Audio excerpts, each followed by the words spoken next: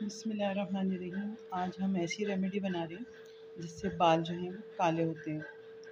उसके लिए हमें चाहिए दो से तीन चम्मच पिसी ये मेहंदी और इसके लिए हमें लोहे की कढ़ाई चाहिए।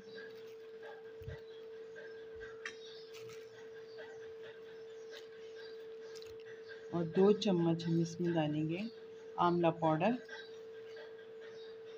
ये आंवला पाउडर से जो है बाल काले होते हैं और आधा चम्मच पिसी हुई मेथी दाने का पाउडर।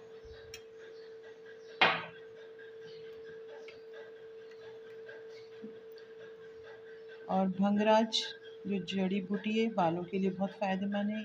थोड़ा सा ये डालेंगे हम।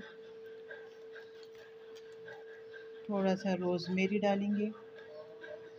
और एक साशा जो है हम कॉफ़ी का डालेंगे और इसको रात भर के लिए भिगो के रख देंगे। इसमें चाहें तो चाय का पानी भी मिला सकते हैं, कावा बना के। ये कढ़ाई में रहने से काला हो जाएगा और बाल जो हैं वो काले होने शुरू हो जाएँगे। इसके मुस्तकिल इस्तेमाल से। एक दो दफ़ा के इस्तेमाल से नहीं होंगे। काफ़ी दफ़ा इस्तेमाल करेंगे आप, तब ये काले होंगे बाल इसको हम रात भर छोड़ देते हैं ऐसी भिगो के।